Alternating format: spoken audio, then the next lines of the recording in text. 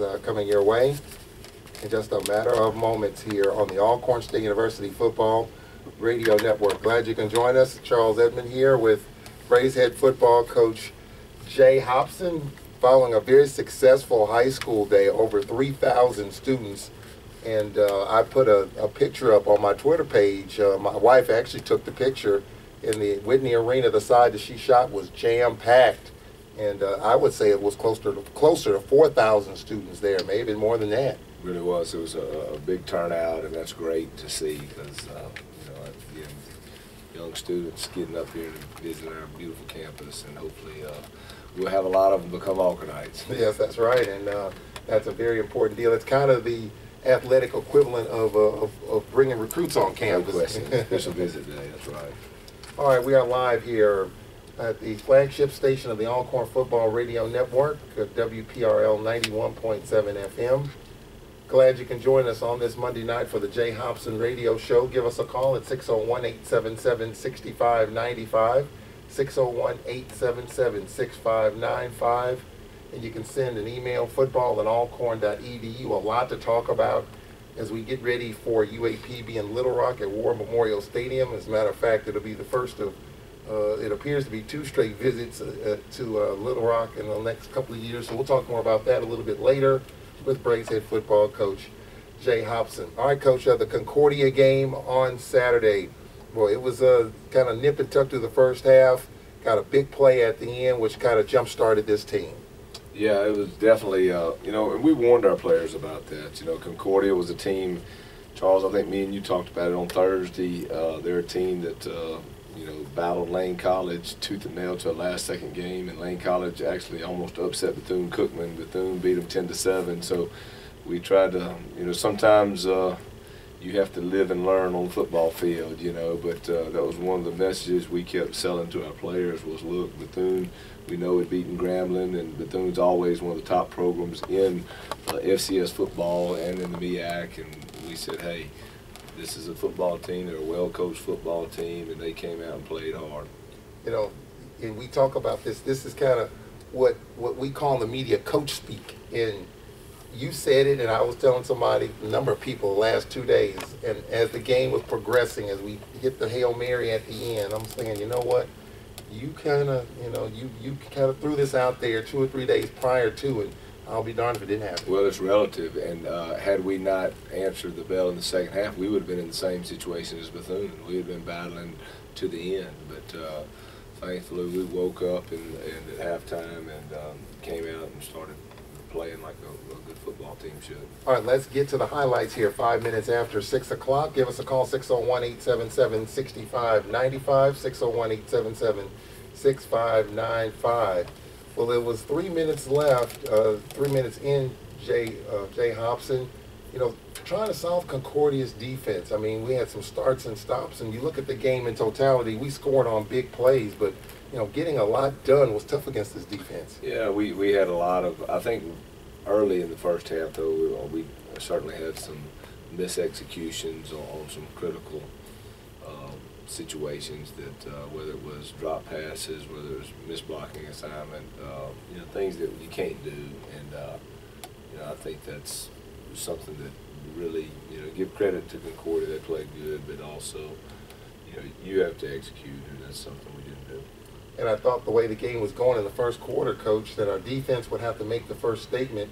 And as we set up the first score, Concordia started at their own 12-yard line was backed up to their own five, and after a 20-yard punt by Grajales, the Braves started at the Hornets' 25-yard line with four minutes and 20 seconds left in the first quarter.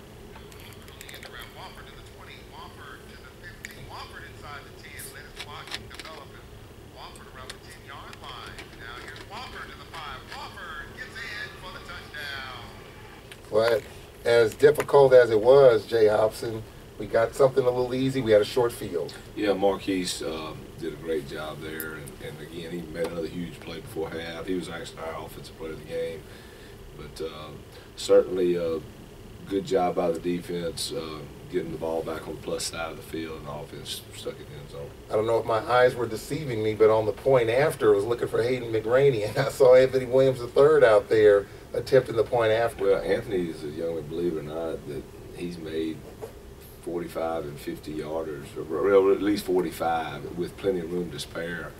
And uh, you know, we felt like this might be a good opportunity for him to get a little uh, kicking in, and, and uh, of course he made the first one, then came back and missed missed the we had the offsides or the legal procedure, and he missed the second one. But then we, we went back to Hayden. It was my understanding during the fall, in one of the scrimmages, that he was attempting uh, see the field goals of PAT. He was, and, and like I said, he's he's really a natural. Does a good job with it. I mean, he, he got an extremely strong leg. So uh, you know, he's actually I think he had a kickoff that went down about ten, but he has put it in the end zone, and so we were just uh, letting him get a few kicks in. So the Braves led six to nothing after the missed PAT. The next Concordia drive started at their own 24-yard line with 3.54 left in the first quarter. Stephen Maxwell, 35 yards rushing on the drive, got to the Braves' 38-yard line, and that's how the quarter ended. You know, you had two running backs, Montgomery and Maxwell, and believe it or not, and I was reading some of the blogs Saturday night and the Sunday, uh, Montgomery actually was at Jackson State at one point, and he left there to go to Concordia just talk about those two dynamics, Maxwell, Montgomery to start, then well, Maxwell. It's interesting when you look at a Concordia roster because we talked about the 120 players. Yeah. There's a lot of guys that we popped up. I remember Coach Thomas in the dressing room saying, I, you know, that kid I think played for me at Delta back three, three years ago. You know, and Yeah. it's amazing how, how those guys just kind of pop up in at Concordia. So they do have athletes, and we said that on on the uh, show last week. I mean, we knew there were going to be some good athletes coming into town, and, and some of them you know, have had a journey, and, and that's where they landed up in Concordia. But at the end of the day, hey, they were athletic, and uh, again, they had some players that I can remember recruiting on the road last couple of years, and then there was some uh, players certainly that uh, transfers. So I mean, that's that's what you get in the NAIA, or as you would say, the, the conference that they're in, Yeah. which actually ha- I guess can have more players than Yes. the NAIA. Yes, and um, at the end of that first quarter, Jay Hopson, it was just a six to nothing game, kind of back and forth. John Gibbs had a tough start. Yeah, uh, you know, we had we had a couple of well, you know, John came out on third down and hit a great, had a nice throw right in there. We had a couple drops. Uh, then had a little uh, had a little protection issue on the second, third. Uh, but again, uh, you know, he bounced back and we came back in the second half, really the end of the second quarter with a couple huge plays that got us moving. Nine minutes after six o'clock, we'll be taking your call, 601-877-6595. Glad you can join us up and down the Alcorn Football Radio Network on this Monday night. We get ready for UAPB, a team that lost to Alabama A&M this past Saturday, and they're kind of learning on the fly with a new quarterback. Of course, Benjamin Anderson for four years led them to a championship in his first year, so they're kind of uh, in a makeover mode. But uh, hey, you can't you can't let that bother you as you get ready to get back into the grind of the conference. We'll take this time out, and when we come back, we'll look at the second quarter highlights when we return on the Jay Hopson Radio Show.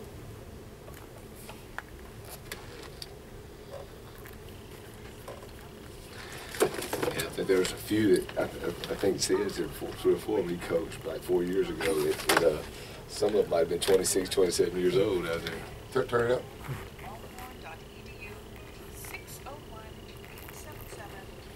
Yeah. Oh oh you never know. You don't know, it, you don't know what's going on.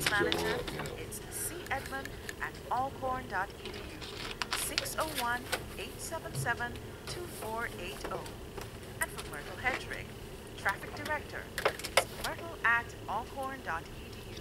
601 877-6290. WPRL 91.7 FM, your university community-minded radio station.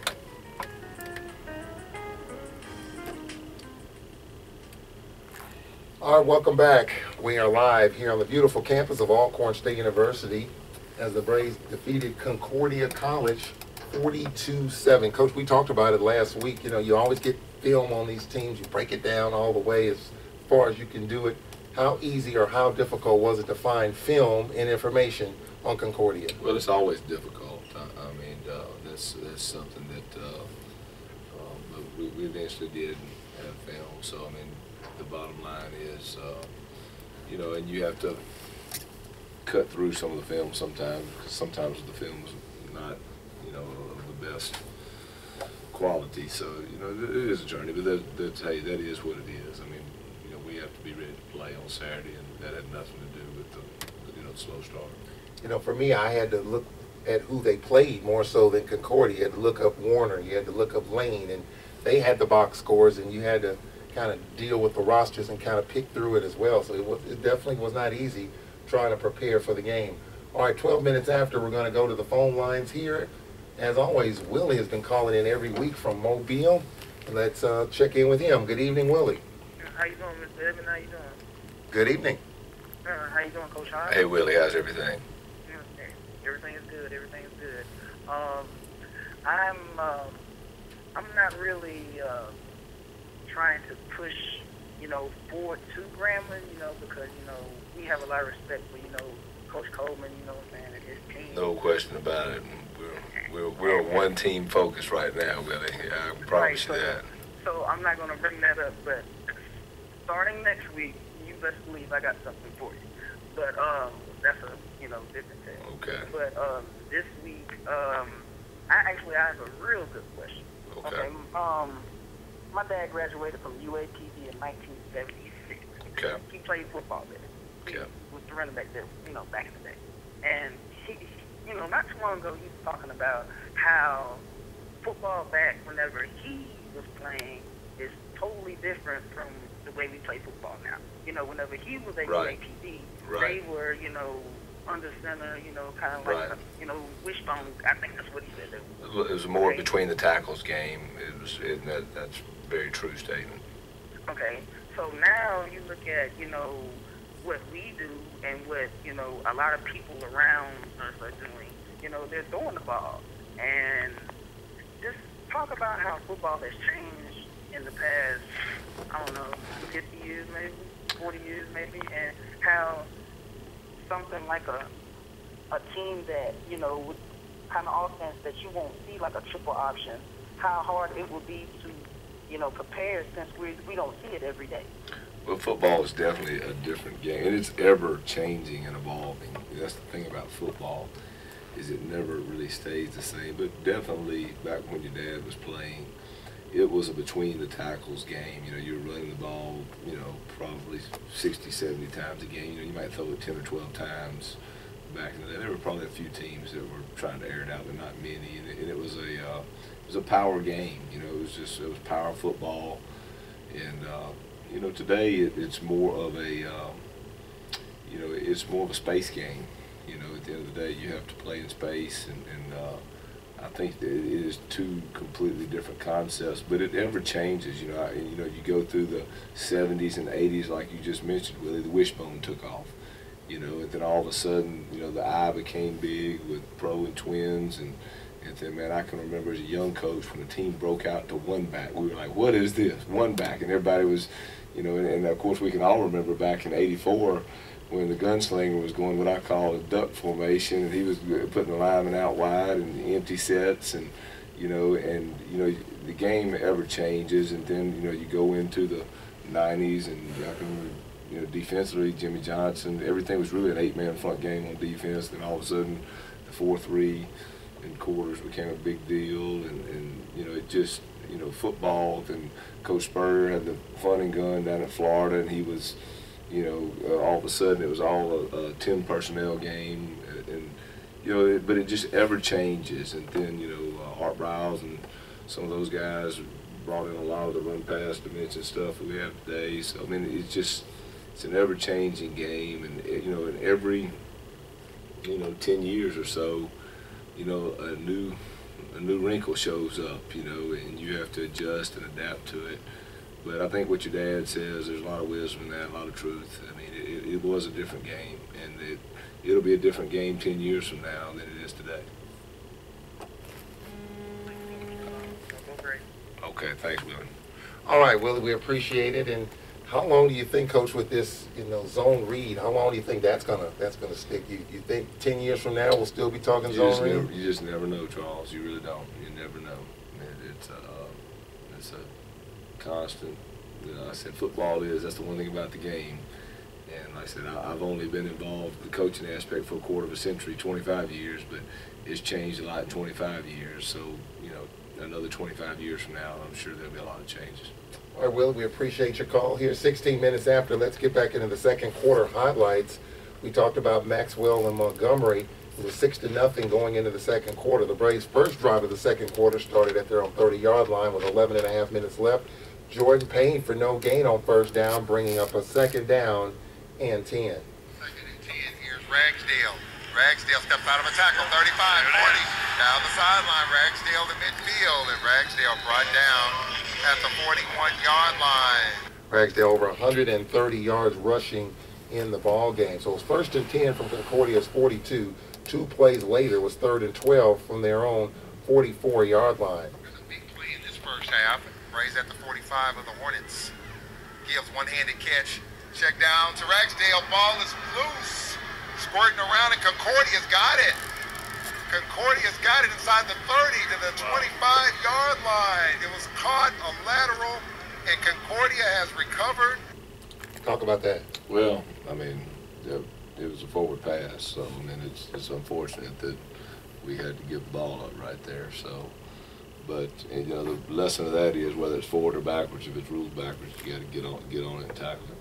So a turnover there for the Braves. The Hornets had it first and 10 at the Braves' 26-yard line with 9.23 left in the first half. The drive stalls, and Grajales missed a 42-yard field goal. After three and out for the Braves, Concordia's next drive started at their own 38 with 6.08 left in the first half, and there was a third down and 11. William Jordan lobs snap out of the gun, back to pass. Pressure, it's going to lob this one long downfield. Wide open. Caught. It was wide open. The receiver running a post hung in there, took the hit. And it's Maxwell with the catch. So that kept the drive alive. First and 10 from the Braves 17. Montgomery, a loss of four. The drive stalled in a 38-yard field goal for Concordia right here. Snapback ball now. Kick is up. Wow. Got the distance. Does it have the accuracy? No good. No, he missed it wide right. So a couple of missed field goals, Jay Hopson. Yeah, we had a nice block on one, the first one. The second one was good pressure too, that, that I think kind of caused the errant kick. But uh, you know, definitely a great job by the defense, uh, stepping up and bowling it back down there when it was backed up, and it was a nice job. So 2.46 left in the first half. The Braves started at their own 21-yard line, converted two third downs, including a third and 18. There was a delay of game in there, and then four seconds left. The Braves were at their own 38-yard line. You know, we had a Hail Mary. Remember last year against the Louisiana College, I believe we had a Hail Mary. Four seconds left till halftime. Now we have a whistle and a flag. It's like Alcorn is pretty much out of sync on offense. I don't, I don't know what's going on there. It looked like he wanted to throw a halfback pass. It looked like it was a quarterback throwback and then he ended up getting a short receiver. So I don't, I don't know. Gibbs out of the shotgun. Braves at the 37. Gibbs back to pass. Steps up. Gibbs looks going to lob this one long down the field, and this ball is caught. Wofford. He gets in for a touchdown. Wofford with the catch with Talent George trailing him. Wow. Charles, it's amazing some things that you say. You know, I mean, this game reminded me of Louisiana College. yeah, it was almost identical. To, and that's what I said after the game to the team. I was like, you know, and we needed the hail mary because you know that was a nip and tuck going into halftime, and then we got the hail mary that kind of gave us the two point, you know, gave us the lead, and then we came out the second half and started to roll in the third quarter. But it just, I mean, it was almost.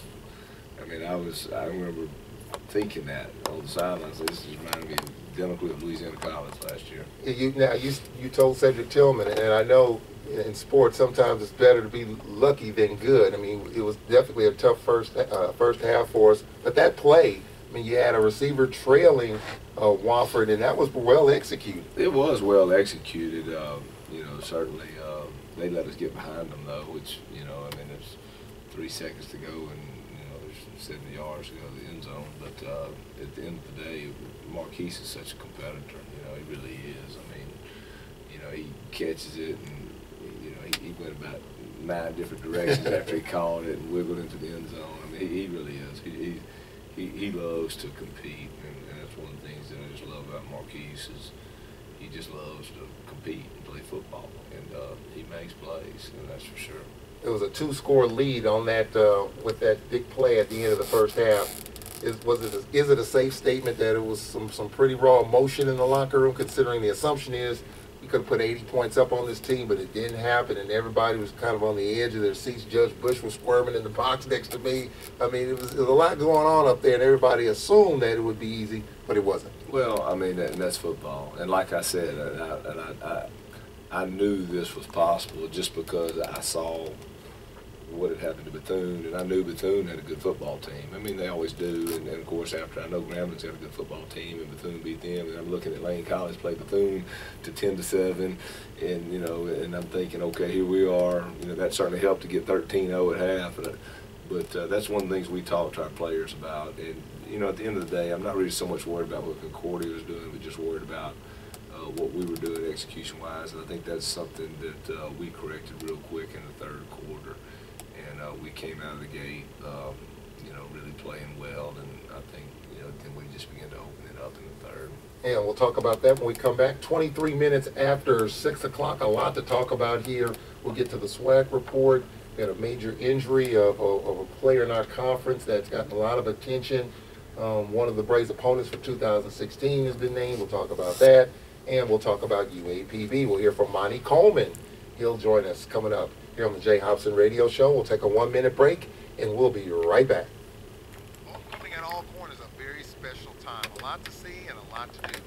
And you can add golf to your list of homecoming activities as the Alcorn State University Alumni Foundation will have the seventh annual Purple and Gold Golf Tournament Friday, October 16th at the Clear Creek Golf Course in Bovina. It's a two-person scramble with the top three teams receiving prizes. There's even a huge monetary payout for a hole in one. For more information, call the tournament Harper at 601-750-7660 or. Juanita Norwood at 601-209-1920 or Athletics Director Derek Horne at 601-877-6500. Corporate sponsorships available along with gold, silver, bronze, and whole sponsorships. That's the seventh annual Purple and Gold Golf Tournament, Friday, October 16th at the Clear Creek Golf Course in Bovina. All a part of Homecoming 2015. Go Braves! All right, uh, welcome back. We are live here at the Jay Hopson Radio Show as we kind of put a capper on Concordia College on what was a very successful high school and community colleges day. Uh, over 3,000 students registered. They probably had about 4,000 plus in the gym. And on my Twitter page, Tall Man Radio, my wife actually took a picture. She was a part of the program, and she said it was awesome. She said it was off the chain, and she wanted to give a, a, a thumbs up, two thumbs up to everybody involved because she was a part of the program, and it was a job well done by everybody. So go to Tall Man Radio, and you look at the picture. The upper deck of the Whitney Arena was jam packed. It looked like an Alcorn Jackson State basketball game or something. It was it was just that great. So a good job had by all on Saturday. It was a warm day and it turns out a good day for football as the Braves beat Concordia College. So you look at the third quarter highlights. Uh, Jay Hopson, the Braves, after a 15-yard kickoff return by Jarvis Turner, started at their 15-yard line. Gibbs out of the shotgun on first down. And here's Ragsdale turning it up. And Ragsdale with a big hole to the 30, 35, 40. Look at him go to the 50, 45, 40, 30, 20. Touchdown. 85 yards. Well, how about it? We ended the first half with a score. We start the second half with a score. Yeah, I was really proud of, of the offense right there. They really, uh, you know, that, that's that's a great thing to see. Came at halftime and, and you know, put some quick scores on the board and, and uh, really started executing. So that made it a 20, a 19 to nothing uh, ball game, and uh, there was a bobble on the PAT attempt there. Yeah, we um, got to get it get it placed down and get it kicked.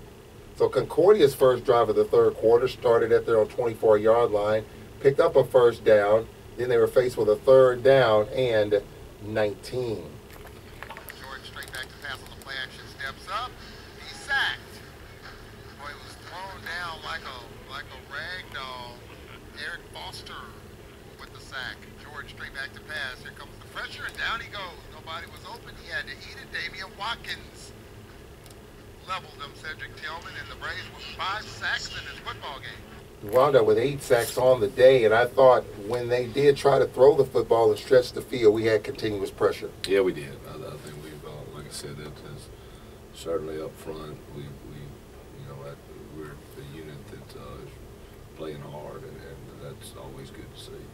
So with the Braves defense stepping up as we forward this action here, the next Braves drives, 10 minutes left in the third, starting at their own 27-yard line. Aaron Baker with a 10-yard run to the 37. Wofford with a loss of six. That brings up second down and 16 from their own 31-yard line. You found the shotgun, looks throws, and this ball's caught to the 50, to the 40. Jordan Payne gets some good speed to the 30, to the 20. Jordan Payne push. Did he get pushed into the end zone? Yes, he did for the touchdown. Five-play, 73-yard drive. Yeah, really, really big Jordan's had a bunch of big plays this year, and uh, came up again with a big one there. So that made it 26 to nothing. Uh, Jay Hopson at the end of the third quarter. The Braves got into the red zone again, approaching another score, winding down the third. So I guess the message was delivered, and I guess the team got the message coming out in the third quarter. Well, they, they just started, you know, there was nothing, nothing magic about it. We just started, you know, playing good football, and uh, that's what happens. So 28 minutes after we approach the bottom of the hour, we'll look at the fourth quarter highlights. Um, we're going to hear from Darren Ragsdale, who had a big game. Cedric Tillman talked with him after the ball game, and we'll recap the Concordia game. Put a lid on it. The SWAC report is coming up. The Braves, one of their opponents for 2016 has been said. We'll talk about that. Recap the SWAC action. A lot of high scoring in the league over the weekend, and we'll look ahead to UAPB. We'll take a one-minute break, and we'll be right back on the Jay Hopson Radio Show. University is a great place to receive a great education, and here's why. Alcorn is ranked as a top university in the top schools, regional universities, in the South category of the U.S. News and World Report Best Colleges rankings. There are other great reasons to choose Alcorn State University. whether it's personal, whether it's in education, anywhere you turn, there's always a helping hand. If they want to be challenged to learn and grow and be in an environment that is nurturing, in a place where they're not just a number, where people know you by name, then I would tell them to come to Alcorn. For more information, call toll free 1 800 222 6790 or visit us on the web at www.alcorn.edu. You are tuned in to WPRL 91.7 FM, broadcasting from the campus of Alcorn State University. And welcome back to the Jay Hopson Radio Show as we approach the bottom of the hour. For fans traveling to Little Rock on Saturday, the Alumni Host Hotel is the Doubletree Little Rock at 424 West Markham Street. Rooms are $109 for Saturday with the group code ASU. Call area code 501-372-4371 to book your room today. Let's get on the road and support Braves football. We approach the bottom of the hour. Let's pause 10 seconds for station identification. You're listening to the Alcorn Football Radio Network. You are tuned in to WPRL 91.7 FM, broadcasting from the campus of Alcorn State University. Charles Edmond here on the Alcorn Football Radio Network with Braves head football coach Jay Hopson here in studio. Your Braves getting ready for UAPB in Little Rock at War Memorial Stadium. So we look at the fourth quarter highlights. The Braves were on the march into third, Jay Hopson, as we begin the fourth. First and goal from the Hornets, one yard line. First Baker on straight hand up, cuts it inside, touchdown. Aaron Baker from a couple of yards out, and the Braves are over 30 points for the third straight game, and the Braves are up 32 to nothing. Aaron Baker, who had a couple of touchdowns last week, gets it going for the Braves. Cedric Tillman here in the fourth. Yep, 33 to nothing at that. And Aaron Baker, you know, it's a pretty good mix when you look at Ragsdale and you look at Aaron Baker, different dynamics. Yeah, they are. They're both uh, two fairly talented uh, backs, so blessed to have both of them, and uh, both uh, do a tremendous job for us. We talk about protecting the football. We had a turnover in the fourth, 13.55 left starting at Concordia's 38 yard line. Gibbs a one yard gain, second and nine. Gibbs to Wofford, nine yard catch, and there was a fumble there. And you know, you talk about getting extra yards. We had three turnovers in the game, and I'm sure that's something you've been talking about. Yeah, well, it's just uh, you know, and a couple of them too have been some of the younger guys too in the third, fourth quarter, and when you get your opportunity, you got to hold on to the ball. But it's um, you know, again, those were drive stoppers in the second half, which we were marching and on that side of the field. So uh, you know those things you just can't do. It's just part of football. You got to protect the football at all times. 9.13 left in the fourth quarter. Lenore's Footman in, Joe Price in. There was a third down and 13 on this drive from the Hornets' 43-yard line. on, Jordan Payne. Could this be a second touchdown? Turns it up the field. 20, 10, yep, touchdown. Jordan Payne, 44 yards. Boy, you got that one in space, Cedric Tillman, and off to the races he went.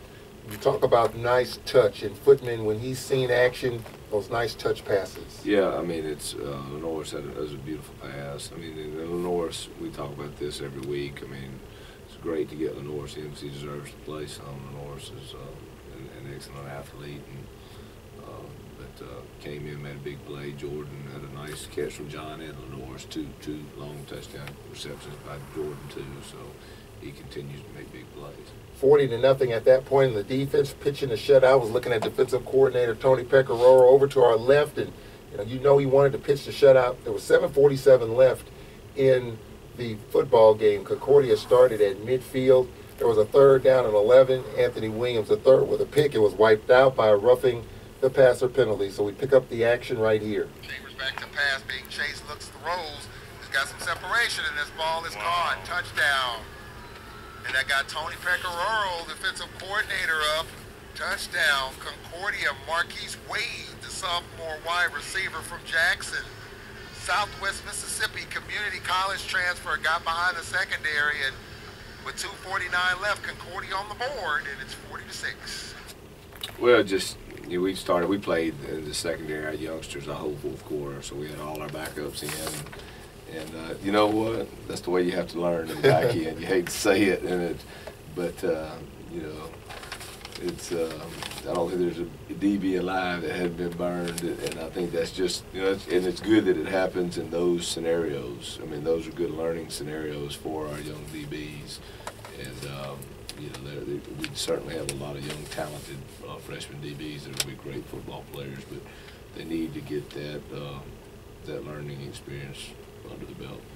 Darius Dean with a couple of carries on the next Brave drive, and time kind of whittled away, and the Braves won 40 to 7 in the ball game. A big day for Darren Ragsdale in the backfield. Nine carries, 136 yards, including the big 85 yard run. And after the game, he spoke with Cedric Tillman. Ragsdale getting the glad hand, and uh, Cedric, let's uh, check in with you with uh, Darian Ragsdale. Well, you guys kind of got off to a slow start there. Uh, so talk about some of the things that was going on out there in the first half. Uh, really just, we played, we started off real slow. Miscommunication is pretty much really just starting off slow. We had to pick it up on the second half. Yeah, uh, talk about the second half there. The first play in the second half, come out with that long run for a touchdown. Oh, so I just knew it was to be over. I had faith in my old line. So I knew I was to bust and take it to the house. So Ragsdale with a big day, and we'll break down the game coming up, give you the final numbers, put a capper on this one. 601-877-6595. 601-877-6595. Give us a call. We appreciate uh, Willie calling in earlier. We'll be taking your phone calls, questions, and comments, and we'll be right back on the Jay Hopson Radio Show in 60 seconds. WPRL 91.7 FM has always tried to stay one step ahead of the curve We've done it again with a new and improved website, WPRL.org. It's got all the latest in national and local news, as well as your favorite WPRL shows and personalities. From these Worthy to be Praised gospel program with Jay Miles to Jazzy Jazz and R&B with Jamario Brooks, student shows, and of course, all of your Alcorn State University sports broadcasts. You can listen to WPRL.org from your cell phone or tablet, Android or Apple. Just go to TuneIn Radio and type in Life 91.7 WPRL in the search box. Anytime, anywhere, any source. Desktop, laptop, cell phone or tablet, WPRL has you covered. For more information, call 601 877 6290. All of this from 91.7 WPRL on WPRL.org. All right, 36 minutes after 6 o'clock here on the Jay Hopson Radio Show. Give us a call, 601 877 6595. All right, uh, let's look at the final numbers and put a capper on this one. 490 yards of total offense, Jay Hopson, 277 um, in the air and 213 on the ground. We talked about Ragsdale, 136 yards rushing. So what, what impressed you the most when you look at the offense and how it got going? Well, I just thought we came out and we started executing. So that, that that's you know that was the biggest difference. You know, early in the first half we had some drops, critical drops on third down. We had a couple protection busts on third down, and, and, and you know you don't, you don't want to see that. You know, and uh, you know I think uh, you know the second half we really didn't have any of. You know, we the only thing that happened in the second half we stopped ourselves with a couple fumbles. You know, but I thought we were moving the ball well, like like we do, and uh, you know, so it's it's good to have a game like that, Charles, because very seldom do you go through a season and play 11 great games, you know. And I remember last year that game that hit us was, if you remember, when we went to Grambling, we were just kind of like asleep. You know, we were down 21 nothing before we got off the bus. I think Yeah. I think we kicked off 21-0 down. I mean, it was like bang, Grambling just put it on us, bang, bang, bang in the first five six minutes of the game, and I felt a little bit like that Saturday. You know, what I'm saying the first, you know. Uh, six, seven, eight minutes of the ball game, and uh, you know this is a great game to have because you come out of it with a win. You know what I'm saying? It's always great when you have that game and you come out with a win, and uh, so that that's that's a big positive, and and uh, so hopefully. Uh, you know, and, and again, the other good thing is too is it's good to see a football team come in halftime and then kick it into another gear. And I thought defensively, I thought, uh, you know, I was pretty impressed with the way we, we you know, kept them out. You know, there were a couple times they're down in the red zone and down that area, and, and those guys hung in there and fought tough. And, and uh, you know, we had some learning points too in the fourth quarter with the young guys. When you come in, you, you, you're supposed to keep that goose egg going. But I thought uh, there, there were a lot of positives coming out of it, and um, you know, we just got to, you know, this one's behind us now. It's water under the bridge and move on to the next one. Again, I was stopped on the street the last couple of days, like what in the world? You know, that first half and reading the blogs, and when you look at it, that first half, was it more Concordia or was it more not what we were doing? Well, I mean, I'm a football coach at Alcorn State University, so I'm gonna say it's the execution of, of what we're doing, what we were doing, you know. But uh, give Concordia credit too. I mean, they played hard, and, and like I said, and you thought I was lying to you on Thursday, but the proof tells that you know that Concordia and Lane that they can play if they can beat Bethune Cookman or, to, or hold them almost beat them by three points. We knew, you know, we had a team that was capable of, you know, giving us a, a run, and uh, you know that's something that uh, our guys, you know, answered the bell, and um, you know it's good to get that W. Really, and Louisiana College was the same game last year. I mean, you you hit it right on the head with the Hail Mary at the end. If you remember, you know, we were down. The only good news about this game is we were never down. At Louisiana College, we were getting beat 10 to nothing, and they were driving to go up 17 to nothing, if you remember. And we, we were like, oh, then we, we settled down, hit the Hail Mary at the end of the half, and then we came back out the second half, played Alcorn State football. Well, then uh, the same question, we talk about it week one, Georgia Tech, the question, should we play up? And obviously we are. The- A game like this, does it change your view at all about playing uh, a Concordia or an NAI school again? No, I mean that's I, I, I love the way we schedule, you know, and, and uh, like I said, we played Georgia Tech, we played Mississippi State, we played Arkansas State, we played James Madison, we played Warner, we played Concordia, we played uh, Edward Waters, you know. But at the end of the day, uh, next year, as you mentioned, we're playing the MEAC SWAC Challenge and Arkansas, so we, we won't have a NAI game next year. We'll have a MEAC SWAC game and the SEC opponent. So uh, you know, you know, I, I think we do uh, our scheduling extremely well, and, and we do what we need to do to help our university, and um, that is the bottom line. If we look at the final numbers, Jay Hopson, we talked about Ragsdale offensively. Wofford, uh, we had two receivers over 100 yards. Warford and Jordan Payne. Uh, Payne with 112, Warford with 102. Gibbs 198 yards passing. Hayden McRaney with three punts. Defensively, Jay Hopson, uh, we had eight sacks. Darian Anderson with a couple, Foster with a couple, and Watkins. Those three were all over the place. They really were. They really were. Uh, we, we, it was hard picking a defensive player of the game because Eric Foster, as you mentioned, had a tremendous game. Damon Watkins had a tremendous game. Uh, our player of the game was Stacy Garner, though. Stacy was extremely um, solid. He's he's been playing great football. Stacy's, uh, you know, all year, and, uh, and he was our defensive player of the game. That, I'm sure that was a that was a pretty good discussion there, considering you had a lot of folks do some good things. It really was. It really was. It was a uh, it was a tough one. And, you know, as we mentioned, Marquise Warford on offense. You know, again, Jordan Payne had another great day, and but uh, he was our player on offense. We'll take a timeout, get to our SWAC report, and we'll look ahead to UAPB. We'll hear from their head coach, Monty Coleman. They lost to Alabama A&M in Huntsville this past Saturday, and they'll be playing the Braves in War Memorial Stadium in Little Rock. We'll be at War Memorial two years in a row this Saturday and next season in October. We'll talk more about that when we come back on the Jay Hopson Radio Show in 60 seconds. Get ready ASU and surrounding areas as the Alcorn State University Extension Program hosts the Extension This Week radio show. Extension This Week will offer weekly highlights of Extension's current and future programs, events, and activities. It will also offer important information in areas such as community gardening, Oh, yeah. health and Let's see. fitness, and community resource development. We will air live from the reservation every Tuesday at 1.30 p.m., hosted by 481 Oh, specialist uh, Mrs. Manola October Irving. 1st? So tune in to WPRL 91.7 FM Alcorn Public Radio, or you can also listen on the web at www.wprl.org.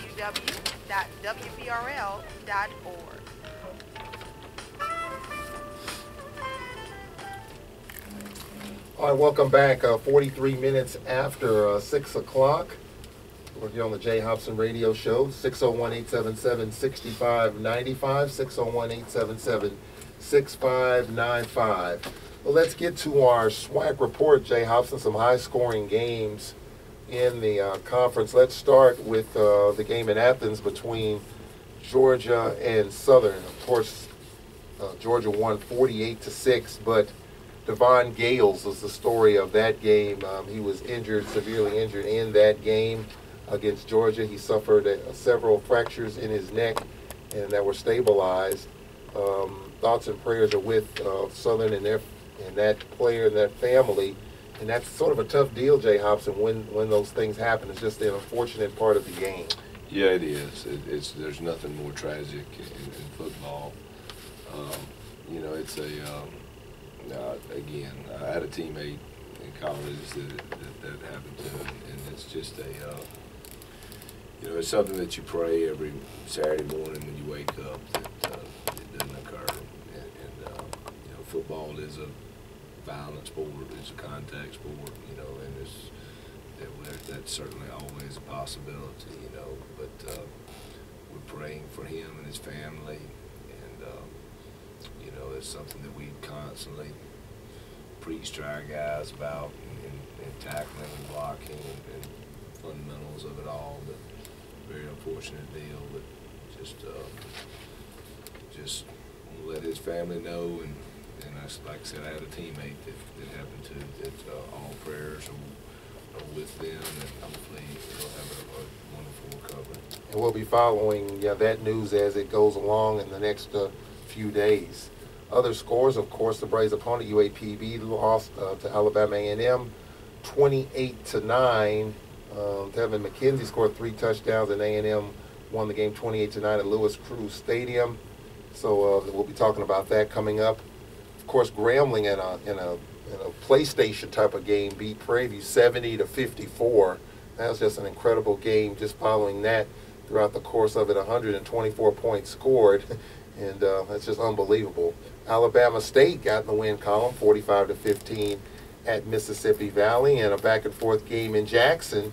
The Tigers, I think, the last team, Jackson State, the last team that yet to play a home game until this past Saturday. Ivy 22 of 27 for 370 yards and three touchdowns as Jackson State got in the win column as they uh, beat Texas Southern 34 to 30. So that's uh, that's the SWAC report games uh, taking place uh, over the weekend. And of course, we talked about it a couple of times. We teased it.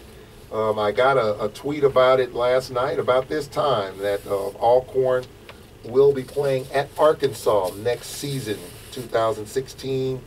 And uh, the reports from hogsports.com are reporting that October 1st is the date, either War Memorial or in Fayetteville. However, they're reporting that uh, they had to switch a game from uh, from Little Rock to Fayetteville, Louisiana Tech. So they're playing Tech in Fayetteville. Therefore, the Braves, it appears, will be playing in Little Rock October the 1st, 2016, against the Hogs.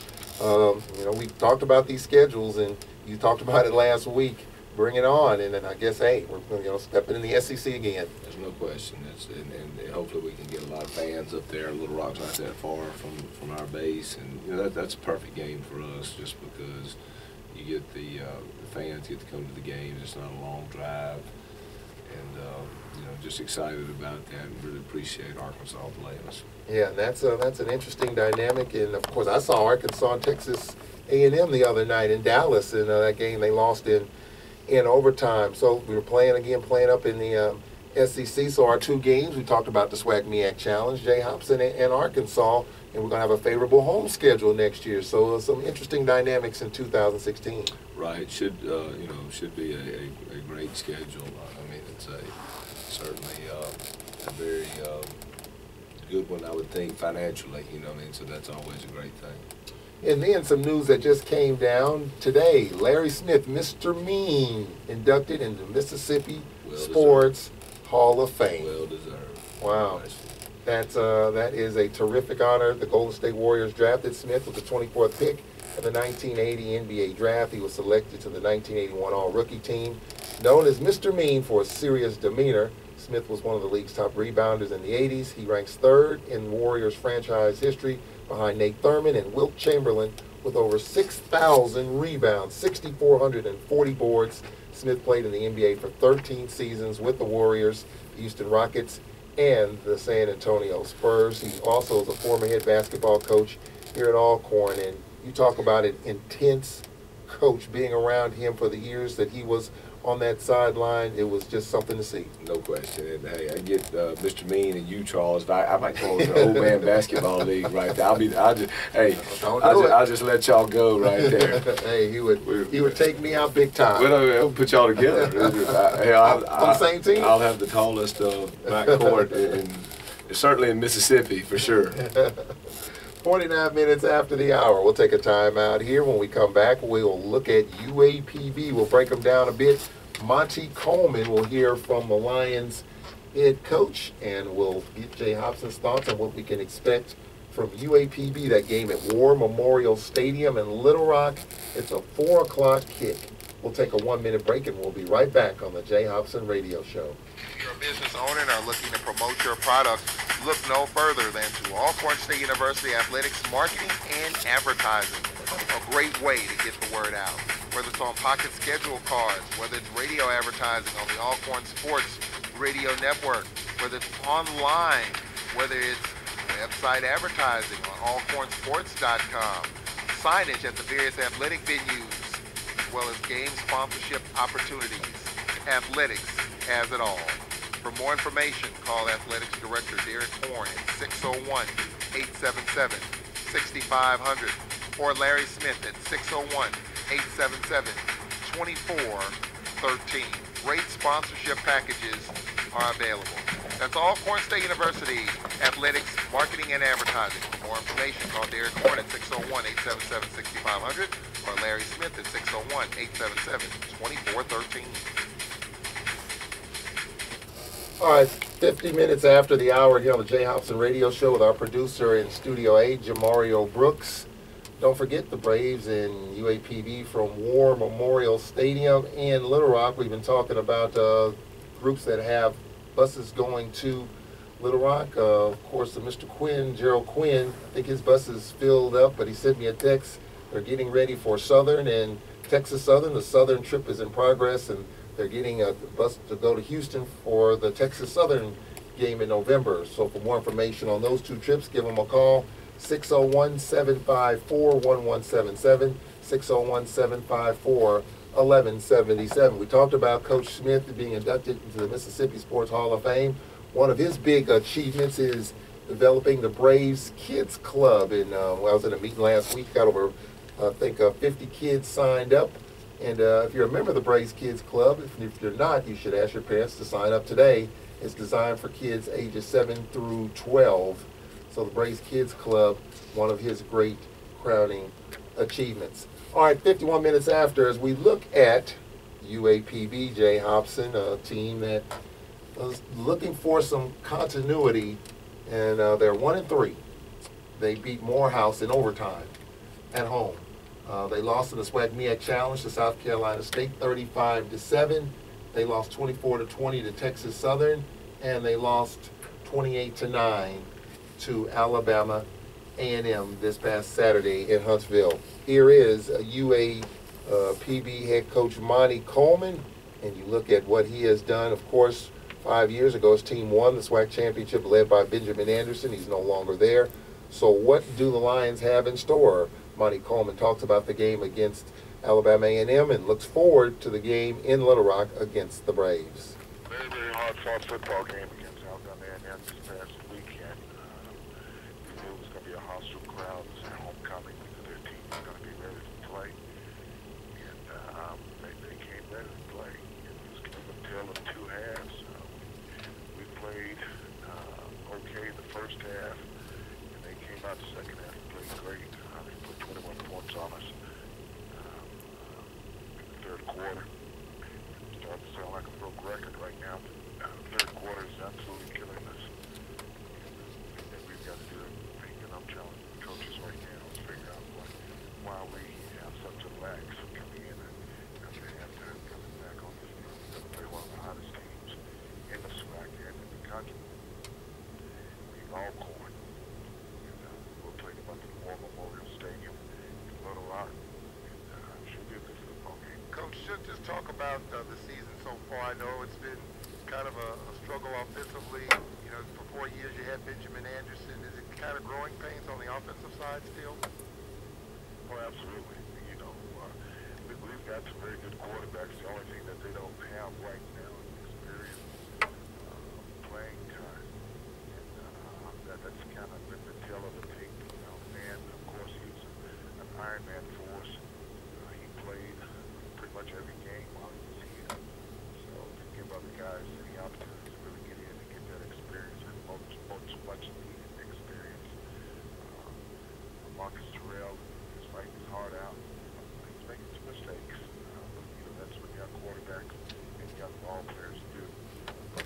Back in up those resources. This is his first year. Uh, Coach Jones is offense. So uh, each of these guys are, are going through some growing pains. We as a football team are also going to going through some growing pains. And uh, we will get through them. We'll, we'll win some football games this year. All right, that is Monty Coleman, the head coach at UAPB. It's kind of been an up and down thing for him. He won a championship four years ago with Benjamin Anderson. Now revamped offense led by Marcus Terrell. Terrell in the game the other day, 15 of 25 for buck 69, and then Nolan Sorensen, um, who backs him up, six of 16 in the game. So they'll probably play two quarterbacks. They have a, a back in Hanley that uh, at 5'10", 200 will have to deal with, and uh, some young but uh, athletic receivers. So as you look at UAPB as a whole, Jay Hopson, what can we expect at War Memorial on Saturday? Well, a well-coached football team that's going to play tough and physical football. I mean, that's you know what you're going to get when you play Pine Bluff. I mean, that that is what it is. Uh, so we know, you know, they're a team that uh, you know they don't. Uh, I think they had a punt blocked against uh, Texas Southern, or you know, they're they're they win that ball game. So I mean, they're a good football team. And Alabama A&M, they had their chances, winning at halftime, seven to six, and um, you know, and, and they're just a good football team. That's what they are. We've got to be ready, and we got to bring our A game. And he talked about it, how in the second half they just kind of fall apart at the seams. So they play a strong first 30 minutes, and that's something, you know, as a team that, and I guess what worries me, the intangibles, a team that hasn't had a lot going. You talked about the opportunities they had. They beat Morehouse in overtime, but a team just trying to find something positive, and you see how momentum shifts change in this game, and how got to keep them off balance. Well, I mean, uh, again, they have our utmost respect. You know, I mean, and we have seven conference games left, and uh, this is the most important one. You know, so uh, you know, it's going to be a, a, battle, and it always is in conference, and uh, we've got to be ready to play. So talk about the two quarterbacks, Terrell and Sorensen. Uh, both athletic young men, uh, can throw, can run, uh, you know, uh, very versatile, and uh, you know they both do a good job in, in Coach Jones' offense, and, and you know certainly, again, you know they're athletic quarterbacks, so they make you work. Then in the backfield, Brian Hanley, a guy that we were familiar with last year. Yeah, runs the ball hard, hard, hard runner. Defensively, Coach Monty Coleman, of course, played in the National Football League on the defensive side of the ball with the Washington Redskins. I asked him about RG3 and uh, what he's going through, and you know, a tough deal there. Kirk Cousins, he believes Cousins will be their quarterback. And he always follows the Redskins, so he knows what's going on there. But as a defensive coach, and they've got another coach in Anthony Jones, who was a, the head coach at Alabama A&M, is their offensive coordinator.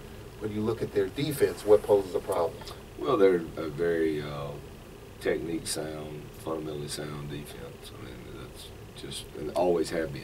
You know, Coach Coleman, and so I mean, it, it's a uh, you know that's extremely well coached, and, and uh, they're going to play hard. And, and again, you know, we know we got a really good football team. We got to prepare for. What is what's the one thing that we've got to you know as we improve from week to week? I know there are a few things, but the one thing that you that you are concerned about let me tell you something, Charles. I'm concerned about everything all the time. I don't think there's one thing ever in my life, and so we, we just got we just got to go and, and uh, have a good week of practice, and, and that, that's what it all starts with. A couple of guys, Coach, uh, did, didn't uh, address the other night. Um, Tip McKenzie and Delance Turner, will they be available? We'll you know we'll, we'll look at that day day by day. All right, Coach Jay Hopson joining us here on the Alcorn pregame show, Coach. That was kind of a you know gut check first half against uh, Concordia, a great second half, and that's what the fans wanted to see. And and now you you constantly build on that, and that in a long grind of a season in the grinder.